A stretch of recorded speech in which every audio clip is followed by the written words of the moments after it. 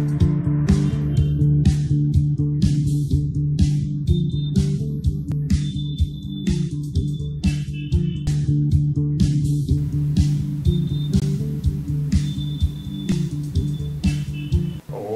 Ni muzima wa Yesu araganje yakoze ibikomeye yaraducunguye mbahaye ikaze ku buryo burambuye mu kiganiro Holy Evening cya televiziyo Authentique. Nge ndi Christian abayisenga twese tuza mu gice cyacu cya kabiri ariko twifuriza ibihe byiza ndetse na Pasika nziza mwebwe mwese mukomeje kutwereka ko muri kumwe natwe muri gahunda zitandukanye za televiziyo Authentique. Igice cyacu cya kabiri ni igice cy'ubutumwa bwera aho tuba turi kumwe n'abakozi b'Imana muri studio bakagenda baduha ubutumwa Imana iba yabahaye ngo batuzanire ntucikwe cyangwa ntujye kure. Ni iby'igiciro kandi n'ibyishimo kuba turi kumwe n'umukozi w'Imana Pastor Fidele Shinga. Yesu ashimwe Yesu ahimbazwe cyane Pasika nziza. Pasika nziza namwe Mm, Urakoze cyane twishimiye kubana. Nawe Pastor Fidele Shinga n'umuyobozi wa Heal the World Movement hano mu Rwanda. Turi kumwe n'undi mukozi w'Imana nk'uko kuri kamera murimo mubibona cyangwa kuri televiziyo zanyu murimo mubibona. It's a pleasure and blessings to have Apostle Prosper Owade from Nairobi in Kenya, the servant of God. Servant of God, how are you? I'm well, thank you. You. Happy Easter. Thank you, Happy Easter. How are you doing? I'm doing well, I thank God. Yeah, I thank, thank God you. for the opportunity even to be here and share the word of God with you. How is Rwanda? Rwanda is good. Rwanda is a blessed nation. Yes. I really thank God for the time I came here. I've really enjoyed. Yes. Rwanda indeed is blessed. Yeah. Thank you for being with us. Mubitwemereye mwakwibwira neza abakurikiye. murakoze cyane Christian Imana iguha umugisha ndetse n'abadukurikiye mwese Imana ibaha umugisha ni umugoroba w'umugisha ni umugoroba wera umugoroba udasanzwe cyane cyane ko ari n'umugoroba twijijeho pasika twibuka gucungurwa kwacu aho umwami wacu Yesu kirisito yatuvanye mu bwami bw'umwijima akatuzana mu bwami bw'umucyo. Imana ibaha umugisha. Nk'uko ah, umukozi w'imana mwene data christian yabivuze nitwa fidel shinga ndi umushumba ah, ndetse nkaba nyoboye n'umuryango w'ivugabutumwa witwa heal the world ah, movement mu rwanda. Ariko nanone eh, uretse no kuyobora uwo muryango ndi n'umushumba mu itorero rya iebr union des au rwanda. Hanyuma eh, ndi umugabo wubatse mfite umufasha eh, nyiramutima alice twubakanye kandi ushyigikiye umuhamagaro wanjye cyane ndetse dufitanye n'abana babiri b'abakobwa imana iduhane umugisha Urakoze cyane Imana iduhane umugisha. Servant of God, the Apostle Prosper Owade. Can you introduce yourself? Okay. Um, once again, viewers, from wherever you are viewing, I salute you and I pray that the Lord will bless you and enrich you in all your ways. I am uh, Apostle uh, Prosper Owade. I come from Nairobi, Kenya. I thank God for the grace and for the opportunity to be here in Rwanda and for the time that God has given us now to speak into your life with the Word of God. And uh, tonight, I thank God because even as we celebrate and meditate about the death and the resurrection of Jesus Christ, I want to speak the word of God in a few minutes into your life and believe that tonight God will elevate you, God will bless you, Amen. and take you to the level where your own strength and ability cannot be able to take you. So- Wow. Thank you for being with us. Uh, now we are going to share word of God. Our topic is He that built all things. Welcome. Amen. Thank you. Um, it is true uh, from the where the Bible, um, uh, the theme of the Bible, he that builds all things. And it is true that he who that builds all things is God himself. That means that any foundation or anything that is built minus God, that thing or that foundation will eventually collapse. So today I want to bring you back just to meditate on the death and the resurrection of Jesus Christ. So before we continue further, I want to speak briefly about the power of the blood of Jesus. So maybe before then I can pray, and then from there we shall listen to the word of God tonight. Others, thank you for listening. The Lord bless you. Yes. Father and our God, in the precious name of Jesus, Yes, Lord. Thank you, O God, for your word that, Lord, you have prepared before us tonight. I thank you, O God, for the viewer. I thank you, O God, for everyone who is listening from wherever part of this nation that, Lord, they are listening and viewing this word, O God, tonight. I thank you because by your mm. word you bless that viewer. Yes. By your word you heal him, O God. Mm. By your word you bring restoration upon mm. that family. By your word, O God, you bring progress upon everyone, O God, who is viewing and listening tonight. We thank you, O God, for your word and we bless your name. In Jesus' name we pray. Amen. Amen. Quickly, please, if you can go uh, briefly in the book of Exodus 11 from verse 1. Exodus 11 from verse 1. I'll just read Exodus 11 from verse 1. Yes. The Bible says, And the Lord said to Moses, I will, I will bring one more plague on Pharaoh and on Egypt. Afterward, he will let you go from here. Let's again jump to uh, Exodus 12 from verse, uh, verse 1. Now the Lord spoke to Moses and the Lord in the land of Egypt, saying, verse 3 Speak to all the congregation of Israel, saying that on the tenth month, on the tenth month, every man shall take for himself a lamb according to the house of his father. Yeah. Then verse number 7 and uh, they shall take some of the blood, uh, put on the doorsteps, on the lintel of their houses, where they shall eat it.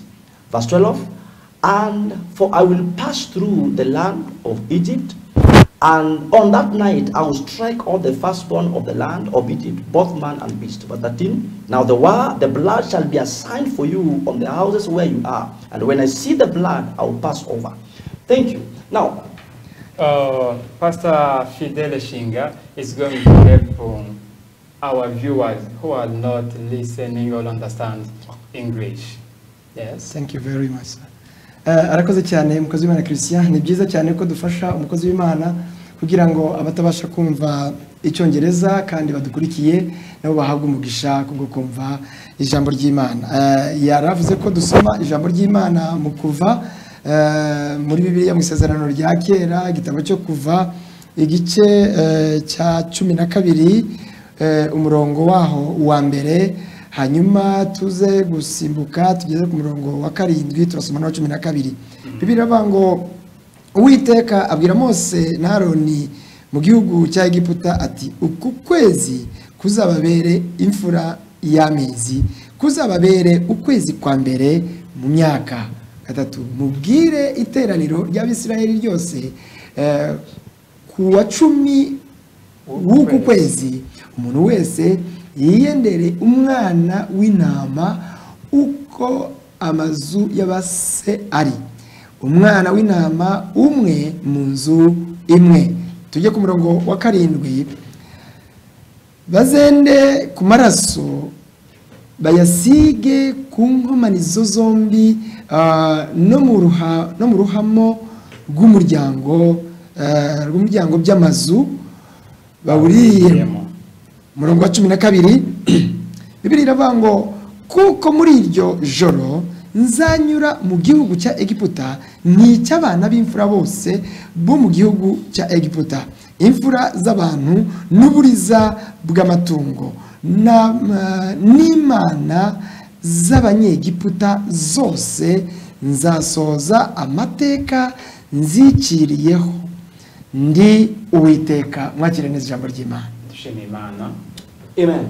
Now, I'm talking about the power in the blood of Jesus. ndagira ngo tuganire ku mbaraga mu maraso ya yesu From kirisito where we are reading, the Bible says that God say, I will introduce one more plague. Eh, ahangaha dusomye bibiliya iravuga ngo imana yonyine iravuga ngo njyewe njyenyine That, that tells you that before we arrive at Exodus 11, God had already introduced uh, nine more plagues. Eh, hari aho noneho mbere y'uko dusoma hariya eh, mu eh, gice cya mbere aho twasomye mbere y'uko tugera Bi- bibiliya yonyine iravuga ngo uwiteka wenyine ni we wirahiye Because at that po- point in time, the children of Israel were in captivity in the land of Egypt. ahangaha abanyesirayeli bari mu buretwa mu gihugu cya egiputa And they have been there for 430 years. kandi bahamaze imyaka magana ane na mirongo itatu They were under bondage, they were under slavery, they were under oppression. bari mu buretwa bari mu bibazo bari mu bubata bukomeye cyane The more they complained, the more they presented their issues before the authority, the more they oppressed.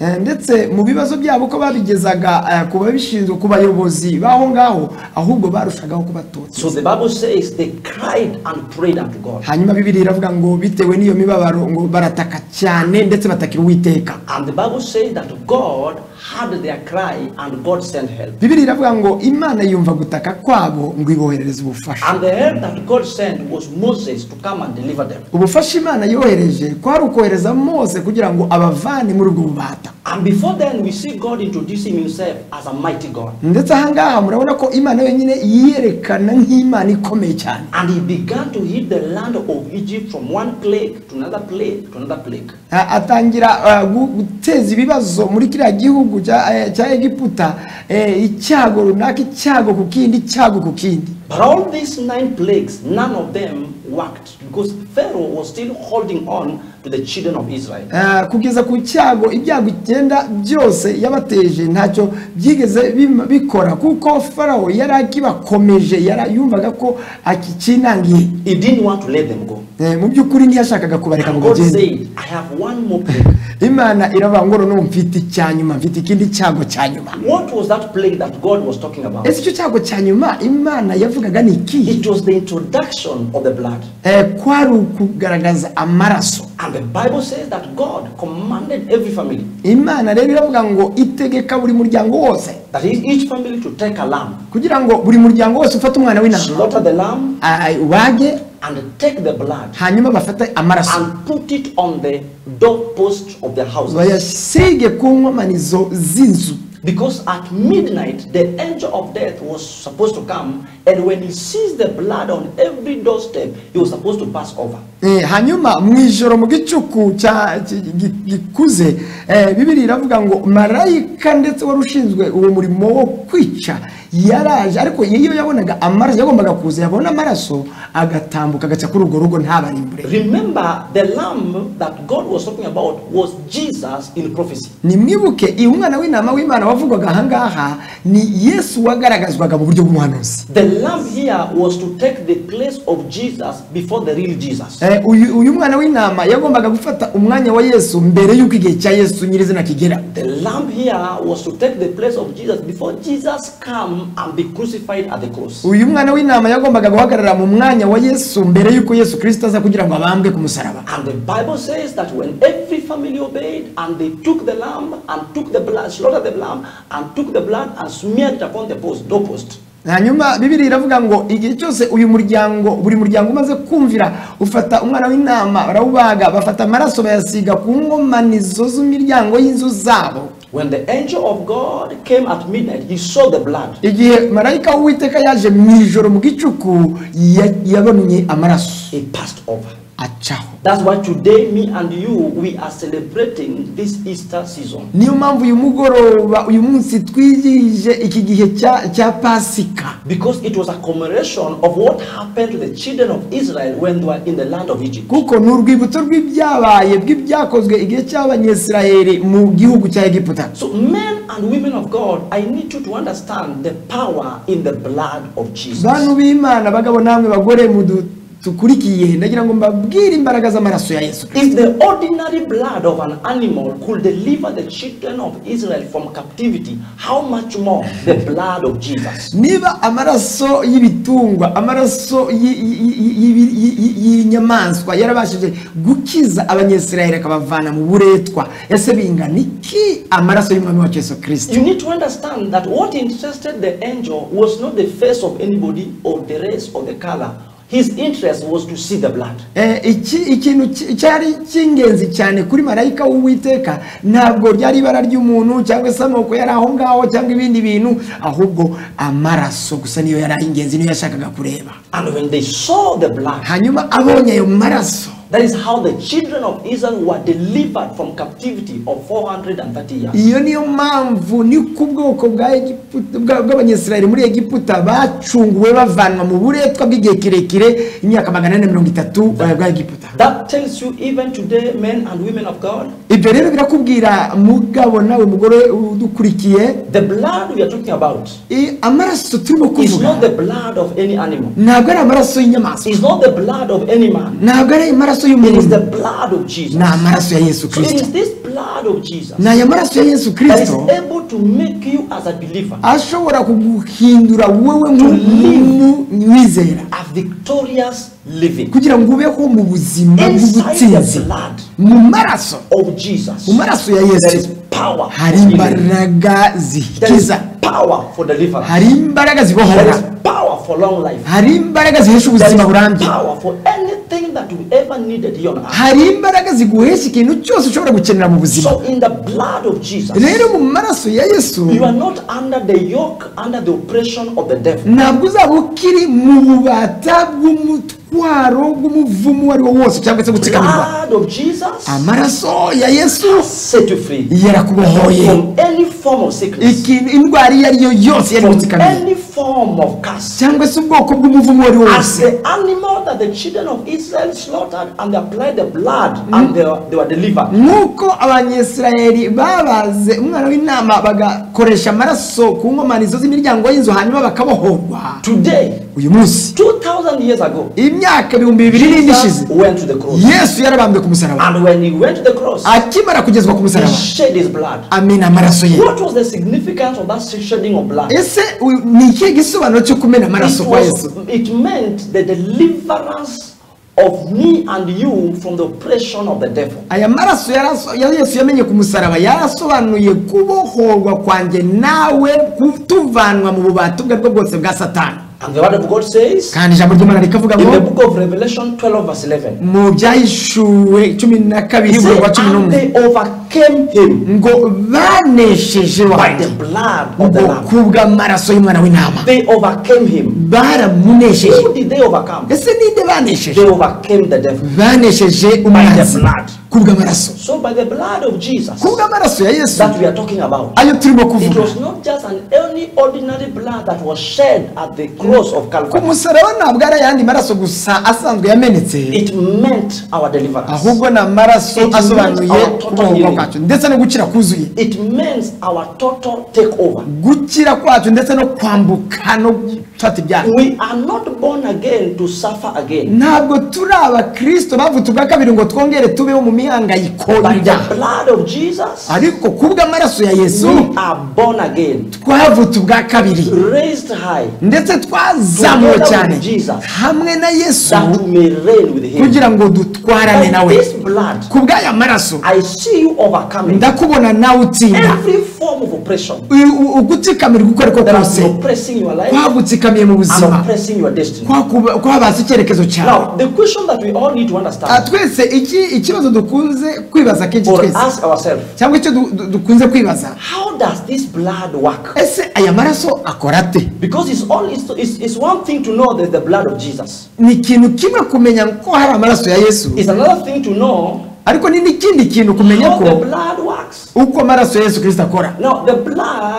Does not work by any other mystery. Ntabwo amaraso akora ah, mu buryo bu- bw'iyobera rindi iryo ari ryo ryose ahubwo amaraso afite iyobera rimwe gusa.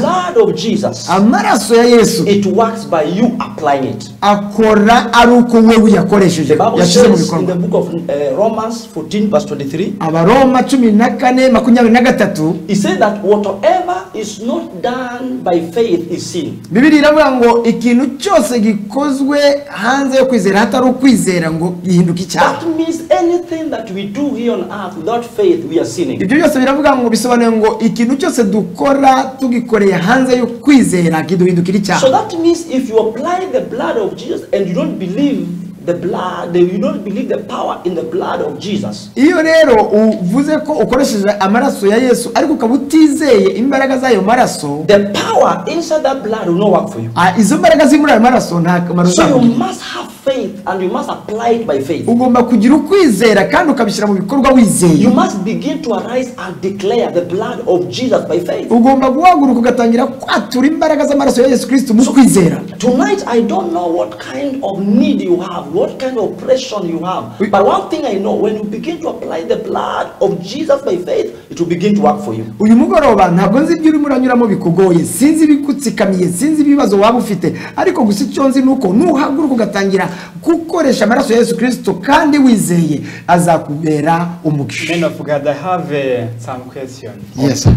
You are saying how blood of Jesus works. Yes. How can I get ndumva ati mukozi w'imana mumbabarire abakozi b'imana kubaragoye ati hari eh, ibyo muvuze ko amaraso yesu kirisito afite imbaraga mu by'ukuri zikora ibikomeye.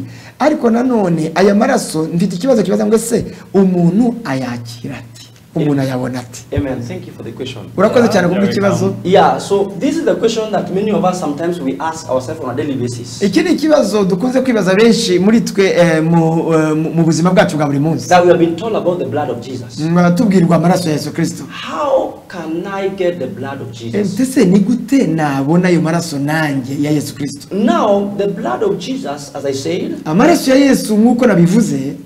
as we, we all believe, we all believe that Jesus was crucified. He went to the cross and he was crucified. Eh, twese twizera ko yesu yagiye ku musaraba ndetse aranabambwa And he shed his blood for all humanity. nuko muri uko kubambwa amena amaraso ye ayamenera ikiremwa muntu cyose So to get the blood of Jesus and to begin the, the blood of Jesus to work for you, kugira ngo ubone aya maraso kandi aya maraso ya yesu Kristo akubere ay'umumaro it is by faith. ni ukubwo kwizera There's no any other way you can be able to get the blood of Jesus apart from faith. nta yindi nzira yaguhesha kwakira amaraso ya yesu Kristo uretse ukwizera You apply it by faith.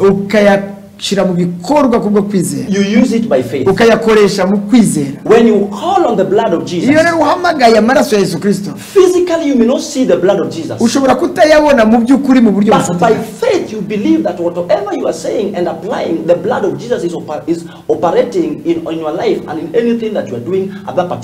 ariko ugomba kugira ukwizera nubwo utayarebesha amaso y'umubiri. Ariko ugomba kwizera ngo uko uyakoresheje uko uyatuye arimo gukora mu buzima bwawe So the blood of Jesus itself, it works by faith. rero amaraso ya yesu kristo akorera mu kwizera about believing. ibi ni ibijyanye no kwemera It's about kwizera having faith. ni ni ibijyanye no kugira ukwizera That Jesus died at the cross. ukizera ko yesu yapfuye ku musaraba He died for me. arampfira He shed his blood on the cross. yameneye amaraso ku musaraba that blood kandi ayo maraso that I draw to that blood. ayo maraso ndetse ngomba When I kuyafata apply that blood in my life, iyo rero nyakoresheje mu buzima it bwanjye works for my own life. eh, nizeye arakora muri Now we need to understand that in the Old Testament, hari icyo dukwiriye kumva no gusobanukirwa mu isezerano rya kera it is not like what we are seeing in the New Testament. ntabwo bimeze nk'ibyo turimo kubona mu isezerano rishya the Old Testament, they had to slaughter the, the lamb. kuko mu isezerano rya kera bagombaga kubaga umwana w'intama And when they slaughter the lamb, hanyuma babaga umwana w'intama someone has to physically see the blood. umuntu mu buryo bufatika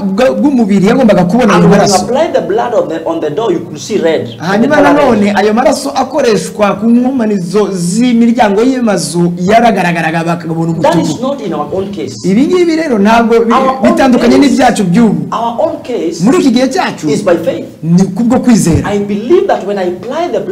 Nizeye cyane ko igihe cyose natuye amaraso ya yesu kirisito arakora mu buryo bufatika.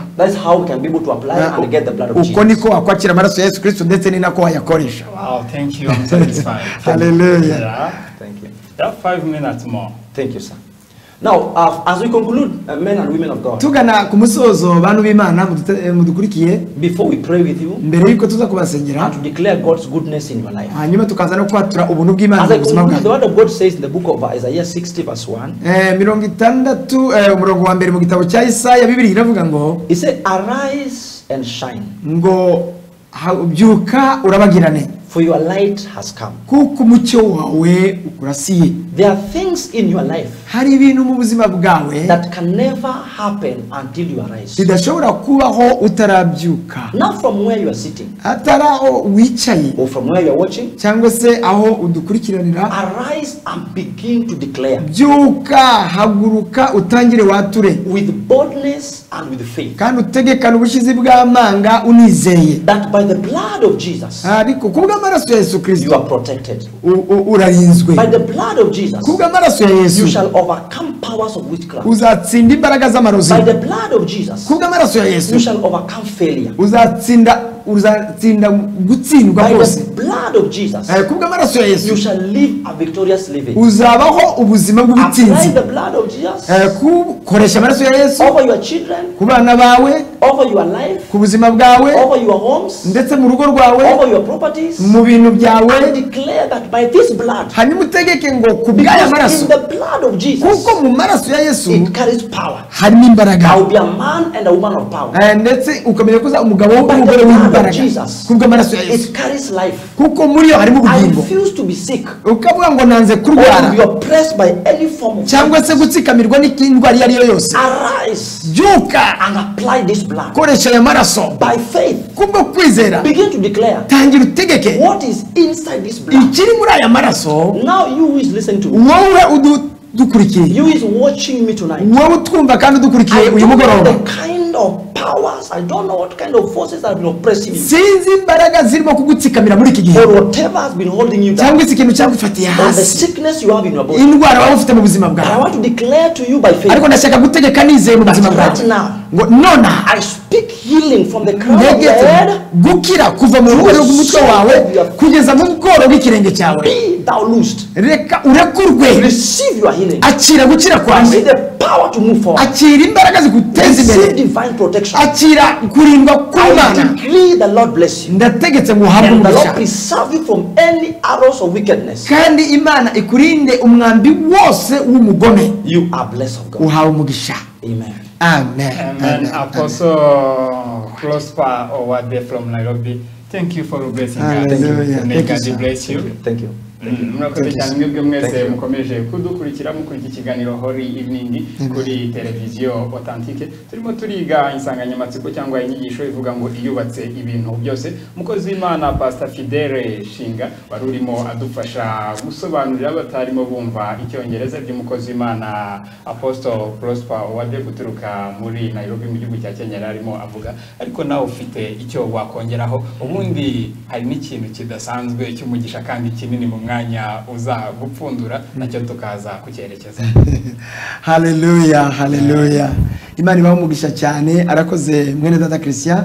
Kandi dushimire cyane na apostle prosper wade Eh, ndagira ngo ntarapfundura aka gaseke mbafitiye nk'uko christian abinsabye mbanze nshimire cyane umukozi w'imana owade kandi mbabwire ko ari umunyamugisha ndetse natwe kuba tumufite mu gihugu cyacu cy'u rwanda ni umugisha ukomeye cyane.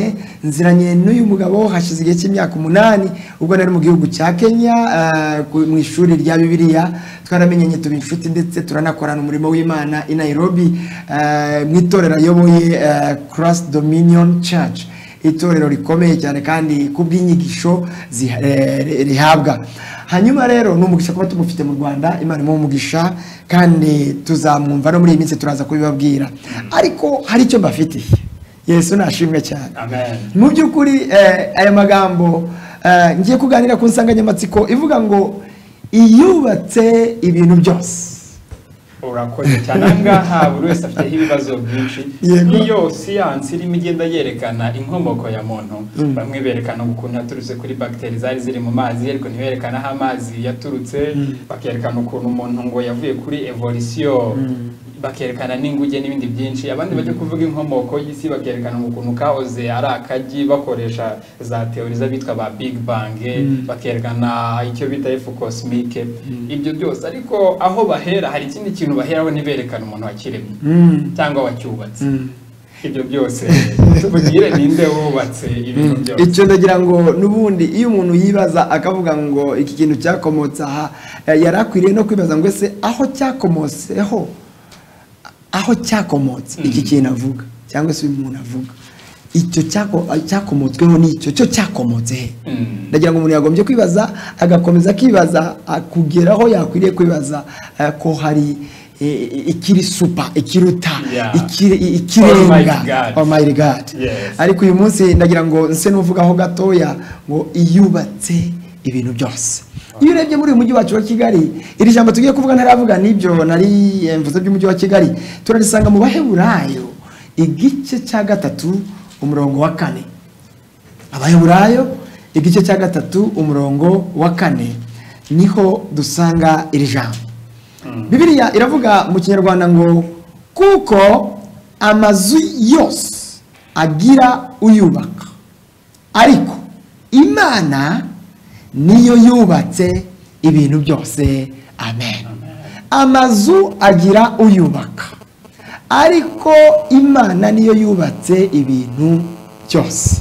Hari n'ubundi busobanuro bw'izindi bibiliya z'amahanga eh, zigiye zivuga ngo amazu n'ibindi bikomeye eh, na byo byubakwa ngo byubakwa n'abantu. Ngo ariko imana niyo yubatse ibintu byose. Yesu ashimwe cyane. Ni ukuvuga ngo niba umuntu yubaka amazu. Nawe afite uko afite uwamwubatse. Akazana na bya bishushanyo mbonera Akazana na tujya bishushanyo tugira mbonera. batandukanye. Eh. ariko hari uwatangije igishushanyo mbonera. Hari uwatanga igishushanyo mbonera. Mm. kandi burya rero christian hari ikintu dukwiriye eh, kwibuka cyane. Ibintu byose biriho. Bifite aho babikopera bifite aho bihera bifite icyo bigana. Hari ikiganwa kuko imana niyo yubatse ibintu byose. Rero ndagira ngo mbwire abantu ngo niba imana yubaka ibintu byose ariyo yubatse ibintu byose uyu munsi wa none uyu mugoroba wa none nk'uko mwakomeje kubyumva ndetse nk'uko n'umukozi w'imana amaze kutubwira twarubatswe twubatswe binyuze mu gakiza twubatswe binyuze mu mwami wacu yesu kirisito hari ijambo nibuka bibiri iravuga ngo uwiteka nakubaka ngo uzaba wubakitse rwose pe. Amazu tubona yubatswe afite uko yatangiye.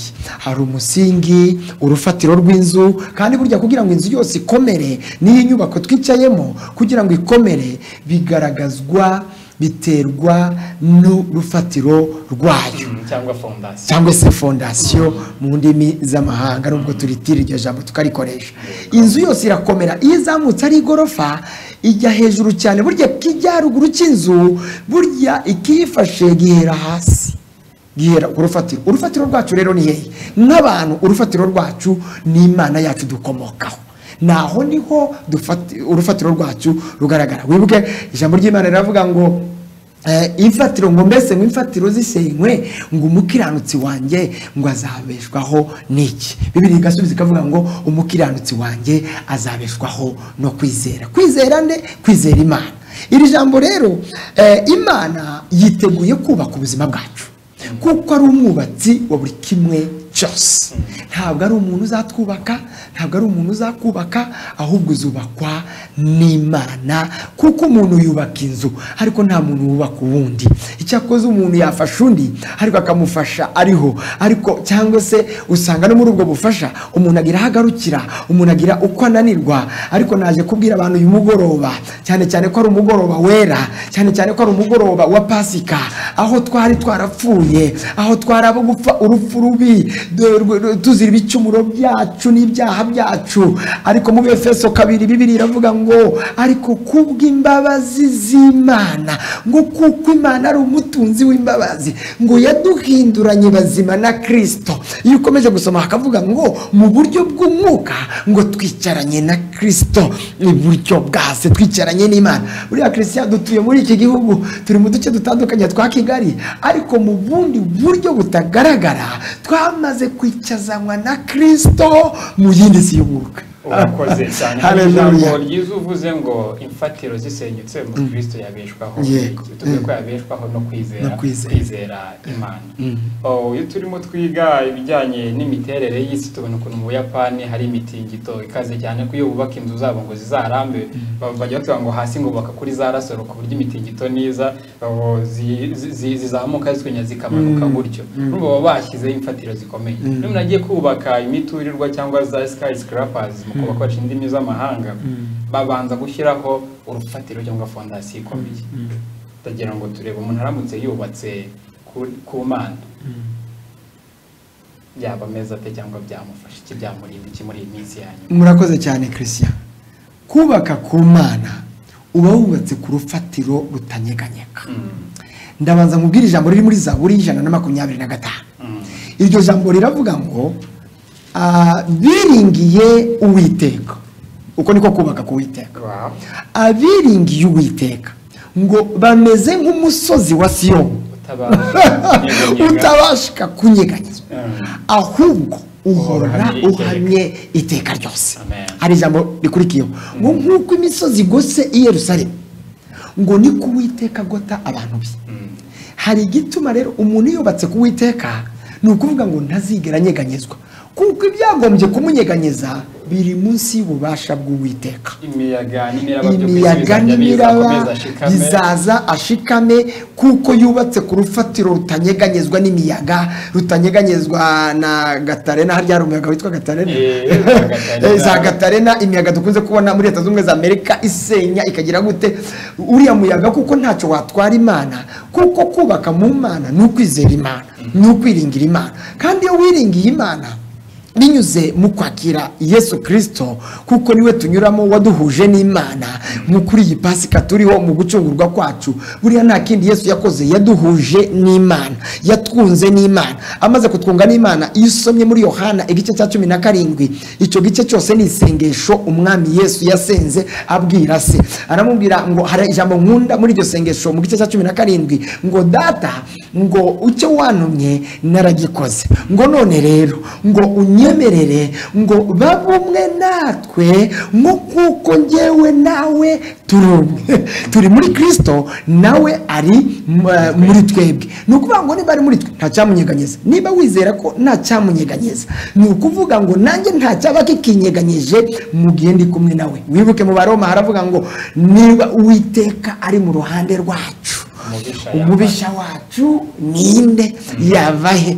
Ni uko tuba twubatse ku rufatiro rukomeye cyane. Iyo rero wamwizeye ni bwo akubaka. Hari intambwe zitandukanye zituma umuntu yubakwa n'imana. Muri izo ntambwe eh, iyo dusomye mu itangiriro igice cya cumi na kabiri aho eh, umurongo wa mbere kugeza ku murongo wa gatatu aya ni amagambo imana yabwiye eh, aburahamu iramubwira mu gitabo genesis mu itangiriro igice cya cumi na kabiri. Cya cumi na kabiri umurongo wa mbere. Haravuga ngo uwiteka uwiteka ategeka aburamu ati Mhm. mu gihugu cyanyu Yego. usige umuryango wanyu n'inzu ya so Yego. ujye mu gihugu nzakwereka. Imana ihabwa icyubahiro. Ahangaha ikintu cya mbere gituma umuntu yubakwa n'imana ni ukumva imana. Mm. yesu ashimwe cyane iyo umuntu yumvisha imana ukabasha kumva ukamenya ko ariyo ivuze. Iba itangiye kukubaka ngiyo ikintu cya mbere gituma wubakwa n'imana. Aburahamu yahoze kwa se tera kandi tera dukurikije amateka uko bibiriya eh, ijambo ry'imana ritwereka tera yahoze mu bigirwamana. Yari umuntu w'ibigirwamana utazi imana yaremye isi n'ijuru ariko imana irebye aburahamu iramuhamagara imukura kwa se imuvana iwabo imuvana mu gihugu cyabo imuvana mu bimenyerewe. Aha bishatse kuvuga iki? Umuntu iyo amaze kumva imana imuhamagara guhamagarwa n'imana niyo ntambwe ya mbere yo kubakwa n'imana. Nk'uko aburahamu yumvisha imana imuhamagara hanyuma yari itangiye kugira ngo imwubake imuhindure icyo ashaka ko azabacu. Hanyuma icya kabiri ni ukumvira. Iyo umaze guhamagarwa intambwe ya kabiri ituma wubakwa n'imana. Imana ikagukomeza. Ni ukumvira wa muhamagaro. Iyo twirutse abantu bananiwe baremererewe muri matayo igice cya makumyabiri ne- icya cumi na kimwe umurongo wa makumyabiri n'umunani bibiri ayo ni amagambo yesu yavuze. Aravuga ngo nimuze mwese abarushye n'abaremererewe. Ngo muzi iwanjye ngo nanjye ndabaruhura. Uyu ni umuhamagaro. Ni uguhamagarirwa kuruhuka. Ni uguhamagarirwa kumererwa neza. Yesu rero arahamagara. Ariko ntabwo ntazaruhura umuntu utamwitabye ntazaruhura umuntu utamwizeye. Aburahamu yahinduwe ukomeye kubera ko yumviye uguhamagarwa n'imana. Hakaba ikintu cya gatatu. Ni ugushyira mu bikorwa isezerano. Kuba uwo bita navuga mu rurimi rw'amahanga covenant practitioner. Umuntu ushyira mu bikorwa amasezerano. Iyo wemeye ugashyira mu bikorwa burya ikintu cyose eh, mwene data christian namwe mwese eh, mudukurikirana ikintu cyose udashyize mu bikorwa nta musaruro wacyo ubona. Kiba ari imfabusa imfabusa umuntu akwiriye gushyira mu bikorwa ijambo ry'imana. Iyo ushyize mu bikorwa wibuke hariya mu- byakozwe n'intumwa ni ijambo nkunda cyane. Igice cya cumi umurongo wa mirongo itatu na kane kugeza ku wa mirongo itatu na gatanu. Bibiri iravuga ngo eh, nuko petero aterura amagambo aravuga ngo menye neza ko imana itarobanura ku butoni. Ahubwo mu mahanga yose uwubaha imana hanyuma akagira gute? Aho ni ho nshaka rero. Agakora. Agakora ibyo gukiranuka. Imana igira gute? Iramwemera. Iramwemera. ni ukuvuga ngo iri jambo twari tuvuze ingingo ya gatatu ni ugushyira mu bikorwa. Igihe cyose hatari practice hatariho puratike y'ijambo. Puratike y'icyo wabwiwe. Ni ukuvuga ngo byaba imfabusa ikintu cyose wahabwa ikintu cyose eh, reka dufate urugero rutoya nk'umuntu umwana umu- umu- umusore utsindiye perimi de conduire akayibona. Hanyuma akayibika ku mufuka we. Aki- akayicarana ntigere atwara imodoka n'umunsi n'umwe ubwo se yazavuga ngo ntabwo azavuga ko azi imodoka. kugira ngo imana itwubake dukeneye kumenya ko kuyumva tugahamagawe icya kabiri kumvira. Aburahamu yarumviye. Amaze kumvira unyemereye wareba ibyabayeho amaze kumvira. Urebe ukuntu imana yubaka umuntu. Imana yahise imuha amasezerano. Nyemerera n'ubundi ha aho twasomye. Urebe iby'imana yabwiye aburahamu kubwo kumvira. Kuko aburahamu yayumvishe yumva umuhamagaro wayo. Icya kabiri arumvira hanyuma yitegura gushyira mu bikorwa. Dore uko imana yamusezeranyije ku murongo wa kabiri. Eh, haravuga ngo nzaguhindura ubwoko bukomeye. Nzaguha umugisha. Nzogeza izina ryawe. Uzabe umugisha. Haleluya amen. Ni ukuvuga ngo aya ni amasezerano imana yahaye aburahamu mu rwego rwo kumwubaka. Imaze kumukura iwabo kwa setera yamusezeranyije kumukomeza. Imana ihabwa icyubahiro. Numva nemezwa cyane mu mutima ko umuntu wese udukurikiranye. Niba wemerera imana ukayumva reka nkubwire ngo igiye kugukomeza. Kandi izagukomeza ari uko iguhaye amasezerano yabwiye aburahamu ngo nzogeza izina ryawe. Uzi kogeza izina? Uzi kogezwa n'imana christian? Tekereza. Nawe udu- udukurikiye tekereza ngo imana irimo irakogeza. Kandi izakogeza kubera iki? Izakogeza kubera ukuntu wayitabye kubera ukuntu wayumviye hanyuma ikogeza. Nikogeza rero ngo izaguha izina rikomeye. Haleluya nzaguhindura ubwoko bukomeye. Tekereza aho umuntu ahinduka ubwoko bukomeye. Iryo ni isezerano rya aburahamu natwe abakomoka kuri aburahamu kubwo kwizera. Natwe iyo ni isezerano ryacu imana iduha umugisha. Arakomeza no ku gice cya gatatu. Ngo kandi nzaha umugisha abakwifuriza umugisha. Kandi uzakuvuma nzamuvuma. Kandi muri wowe nimo imiryango yose yo mu isi izaherwa umugisha. Yesu nashimwe cyane. Gatatu, kandi nzaha umugisha abakwifuriza. Iyo umuntu yamaze kuba umuntu wumvira imana reka nkubwire ngo burya abarimo imana iba iri muri we. Mm. imana iba yicaye muri we. Imana iba ifite ubuturo. Iyo umuntu yemeye kubumvira imana imana iba ifite ubuturo muri we. Yesu ashimwe cyane. Iyo rero imana ifite ubuturo muri wowe ni ukuvuga ngo iyo mana niyo yigaragaza mu bantu inyuze muri wowe. Hanyuma abantu bakaza ukabahindukira umugisha. Abaguhaye umugisha nabo ikabagira gute? Ikabaha umugisha. Ariko nanone kuko hari abatumvira hari ababi abo bose uzakuvuma muri abo nawe imana yonyine ntizadiringa nawe imana niyo izarwanya abakurwanya ni cyo gituma abantu bafite imana ntibari bakwiriye guhaguruka ngo barwane. Kuko niba nzi neza ko mfite imana yonyine izahaguruka ntabwo izaceceka. Kuko ujya kundwanya azaba arwanya imana iri muri jyewe. Niko bibiri ivuga ngo nzarwanya abazakurwanya uzaguhesha umugisha nzamuhesha umugisha. Uyu muntu ufite imana aburahamu ahangaha ntabwo yari umunyamugisha gusa. Yari yahindutse umugisha. Hari itandukaniro riri hagati yo guhabwa umugisha no guhinduka umugisha. Guhinduka umugisha ni ukuvuga ngo aho ugeze ura atarakitinga mbese ibintu byose biremera. Ibintu byose biremera. Icyo gihe rero imana iba irimo kukubaka ikaguhindura ubwoko bukomeye. Yesu ashimwe cyane. Amen. Murakoze cyane. Reka kuri iyo nyigisho twongereho iminota ibiri tujye tuza noneho navuga ngo kuri ka gaseke utubikiye tujye tugapfundura kuko turimo turasa n'abagana ku musozo imana guha umugisha. Ndagira ngo rero mbwire abantu ngo iyubatse ibintu byose yiteguye kukubaka. Iyubatse ibiriho byose ibigaragara n'ibitagaragara yiteguye kukubaka nawe. Yesu ashimwe cyane. Gusa hari icyo usabwa urasabwa gusobanukirwa. Ukamenya ko iyubatse ibintu byose ifite kukubaka. Ijambo rya kabiri. Urasabwa kuyizera kuko nta kundi yabikora utayizeye. Ukwiye kwemera ukuba, uku- ukubakwa. Ukwiye kwemera ugahinduka shantiye ukwiye kwemera ukoroha. Imana ikakugira uko ishaka. Kandi reka nkubwire ikintu kimwe kandi cyiza. Ntabwo izakugira nabi kuko imigambi yayo icyo yibwira kutugirira. Imigambi yayo ni myiza kuri twe. Nicyo gituma niworoha ukemerera imana ukayizera izakubaka kandi izakubaka neza. Nta nubwo izakubaka nk'inzu y'ibikenyeri nta nubwo izakubaka nk'inzu y'ibyondo izakubakisha ubutunzi bwayo bukomeye cyane amabuye y'ibitangaza. Hanyuma nawe uzaba wubakitse rwose. Urakoze cyane. Reka ngushimire nshimire n'abakomeje kudukurikira. Amen. iyubatse ibintu byose yahanitse ikirere ikadendeza inyanja. Nakubwira ngo ndakwifuriza ko yakubaka. Kuyubaka cyangwa kugira ngo wubakike imana ikubake nk'uko yubatse ibyo byose wumvise icyo bisobanuye bya bintu bitatu umukozi w'imana atubwiye. Reka duhite tuza noneho. Hari igiterane gikomeye mpuzamahanga igiterane cy'umugisha. Muje kuturarika kudutumira twamaze kubona bamwe mu bakozi b'imana bazaba barimo bakomotse mu gihugu cya kenya hari n'abandi benshi ugiye kutubwira. Yego. tuguhaye ikaze tubwire kuri icyo giterane urakoze cyane christian. Imana iguha umugisha.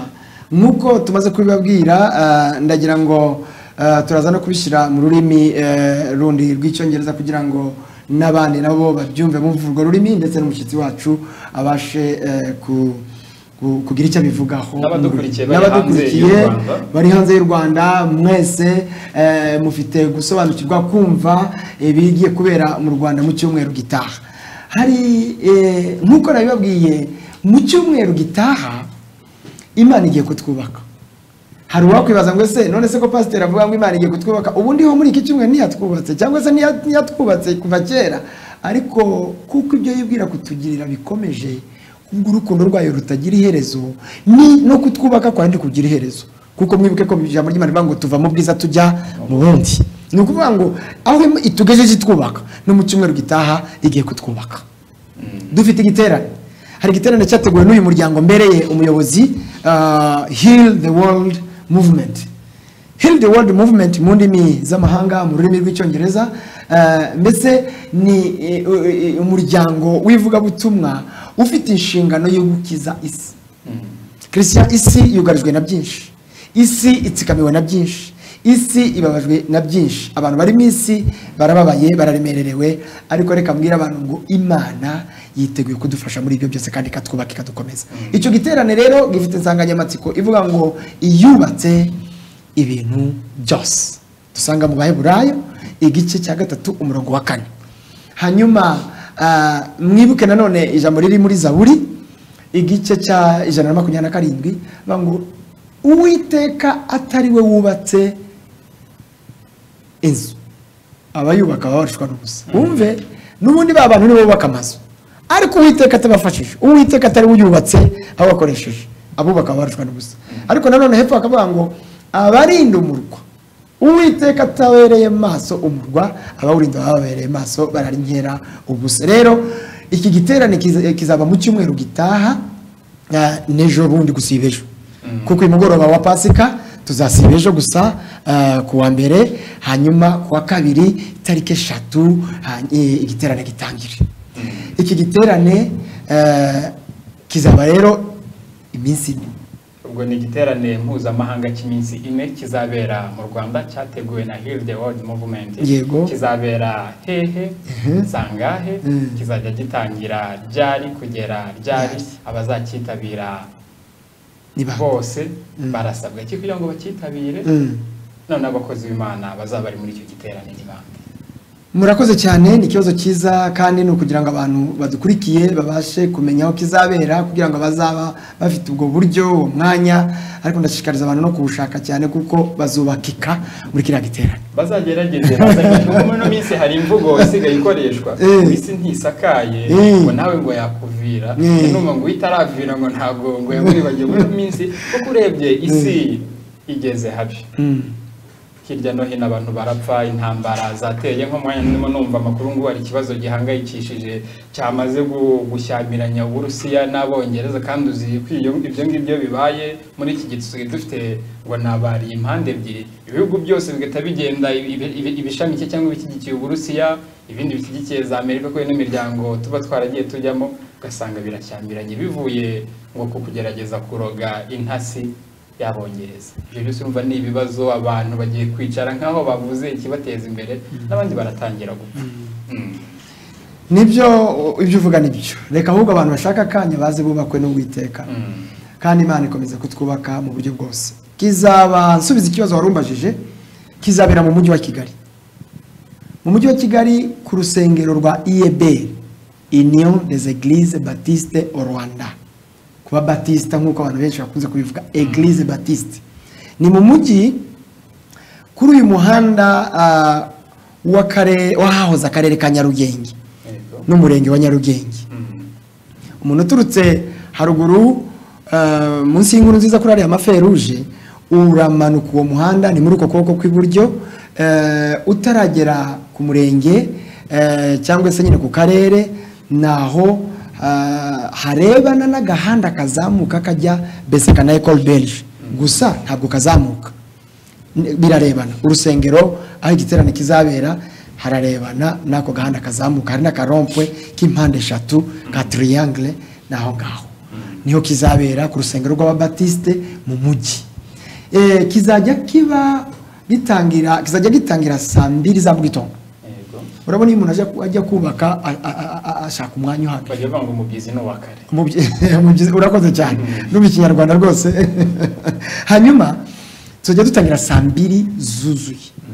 Abantu bahagera eh, turamya duhimbaza imana kuko abaririmbyi bo n'abacuranzi n'abandi bazajya bahagera mbere y'iyo saha mvuze. Hanyuma abatangira kwakira abantu baba bahagaze ku irembo saa mbiri hanyuma dutangire. Dukomeze tugeze nimugoroba saa kumi n'imwe. Saa kumi n'imwe zuzuye. Eh, igituma dufata umwanya munini gutyo umunsi wose ni ukugira ngo tugire umwanya wo kubaka wo kubakwa n'imana. Kandi tuzaba dufite abigisha batandukanye. Turaza kukigera icyo ngicyo. Rero tuzajya dutangira saa mbiri tugeze saa kumi n'imwe ku mugoroba. Ariko mo hagati ku manywa saa sita n'igice saa saba hazajya habaho akaruhuko abantu babasha no gufata ifunguro rya saa sita. Urakoze cyane utubwiye igihe kizabera n'aho kizabera n'amasaha kizajya gitangiraho. Hari bamwe mu bakozi b'imana habaho nk'umuntu ushaka kuba nk'umukozi w'imana mpuzamahanga uzaza akavuga ati ah umukozi w'imana nkunda ukuntu yigisha. Akavuga ati ngomba kuza hari abahanzi batandukanye. Gerageza utubwire gahunda uko izaba iteye n'abakozi b'imana bazaba barimo. Ah, kugeza ubu turi kumwe n'abakozi b'imana batandukanye. Kandi eh, benshi baturutse no mu bihugu bitandukanye. Nk'uko twabivuze kare ni igiterane mpuzamahanga. Niba ari mpuzamahanga ubwo nyine hano iwacu ni na mpuzamatorero nimwumva ngo kizabera ku rusengero rw'ababatisite ntutekereze ngo ni ababatisite gusa. Ni mpuzamatorero. Abantu nako ni abantu bose. Kuko imana ifite umugambi wo kubaka abantu yaremye. Ni abantu bose bahawe ikaze. Hanyuma tuzaba turi kumwe n'abigisha. Uwa mbere ni uyu turi kumwe wamaze kuhagera. Urabona ko yaje kare kugira ngo tube turi kumwe ndetse dutegurira hamwe ibintu byose bimwe na bimwe bya- bigezweho gutegura apostle owade prosper guturuka eh, muri kenya i nairobi. Uyu ni umwe mu bigisha. Hanyuma tukazaba turi kumwe eh, n'umwigisha mukuru eh, uwo mu ndimi z'amahanga tuvuga ngo ni speaker. Yes. umwigisha mukuru ari nawe muyobozi ndetse imana yanyujijemo iri yerekwa ry'umuryango w'ivugabutumwa wo gukiza isi. Imana imwereka ukuntu abantu bababaye kandi bamwe bababajwe eh, no kutamenya eh, agenda rero ahishurira abantu amabanga ibanga rituma umuntu akira. Ni umugabo uturuka mu gihugu cya nigeria hitwa i lagos. Yitwa dr tola olukilede. Uwo ni we mwigisha mukuru. Dr tola olukilede. Azaba ari kumwe n'umugore we wumi tola olukilede. Hanyuma rero nawe ni umwigisha ukomeye cyane. We imana imukoresha cyane cyane mu kubaka ingo z'abashakanye. Uyu mudamu rwose imana yamuhaye umugisha. Ubwo rero amaze iyi ni inshuro ya ka- ya kane aza mu gihugu. Abanyarwanda benshi bamaze kumwumva. Ndavuga dr. Tola. Inyigisho ze abantu barazikunda kandi abantu barubakika rwose bahabwa kumenya amabanga atuma imana ibateza imbere mu buryo bw'umwuka no mu buryo bw'umubiri. Ubu rero ah, tuzaba turi kumwe nawe kandi ni we mwigisha mukuru ndetse ni we uzaba utuyoboye muri icyo giterane. Ariko tuzaba turi kumwe n'abandi hari uwitwa aposito uce obieci eh, utuye mu gihugu cya kenya nairobi ariko akaba akomoka muri nigeria. Nawe tuzaba turi kumwe nawe ni umwigisha. Undi mwigisha tuzaba du- dufite ni uwitwa bishop egbe joseph. Bishop egbe joseph nawe araturuka mu gihugu cya nigeria ni umwigisha mwiza w'ijambo ry'imana. Mm, ndetse ubushize nari iwabo muri nigeria mu kwezi kwa cumi na kumwe umwaka ushize yatubereye umugisha. Yatubereye umugisha abantu bari aho twarubakitse kandi imana yaduhaye umugisha. Binyuze muri aba bagabo n'aba bagore imana irimo gukoresha. Mm. warumbajije nanone ngo abahanzi abaririmbyi tuzaba turi kumwe n'abaririmbyi batandukanye ndetse n'abahanzi eh, batandukanye. Eh, hazaba hari mu bashyitsi hari abaririmbyi baturutse mu gihugu cya kongo mu mujyi wa bukavu. Abangaba ndabagukumbuje. Wowe uduteze amatwi kandi udukurikiye. Reka nkubwire ngo ugerageze uze wumve abahanzi uze wumve abaramyi.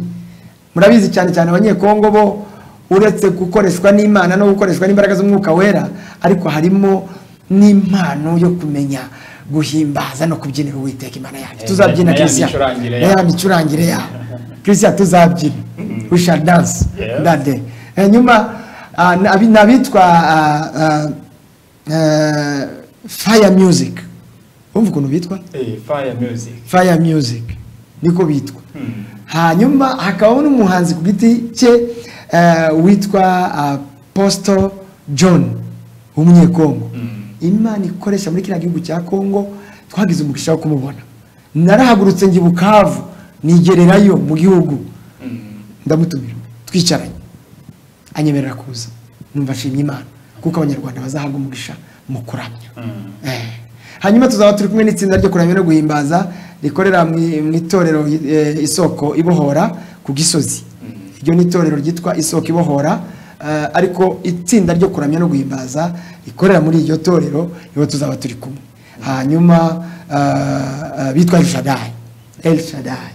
Bararirimba ijuru rikakinguka nanone tuzaba turi kumwe na abasore n'inkumi eh, bo ku itorero nshumbye hariya. Eh, bitwa cornerstone kwaya ni abaririmbyi abakobwa n'abahungu imana ikoresha ibintu bikomeye. N'abandi. Rero ndagira ngo narishubije ibyo warumbajije eh, mu by'ukuri tuzi neza ko ari icyumweru cyo kubakwa. Ni icyumweru cyo gukomezwa. Ni icyumweru cyo guhabwa umugisha. Ni icyumweru imana izigaragaza izamanuka ikavugana natwe.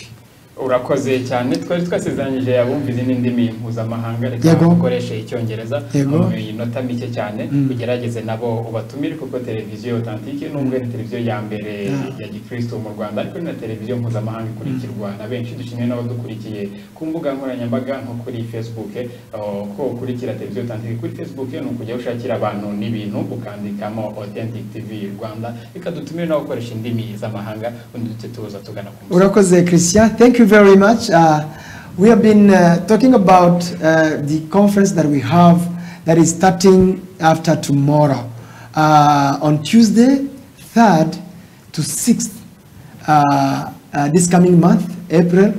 and we will be starting from morning 8 sharp to 5 p.m. It will be the whole day in the conference, and uh, for four days, for four good days, we will be enjoying the goodness of God with uh, different servants of God. As I told you in uh, Kinyarwanda, we will be with uh, different ministers from different nations. Uh, we are having guests, uh, about 60 of them. Some are from Kenya, uh, Nairobi, others are from uh, Uganda, uh, others are from uh, Burundi, DRC. Congo, DRC, thank you very much. And uh, we will even have guests, a team from Nigeria, Lagos.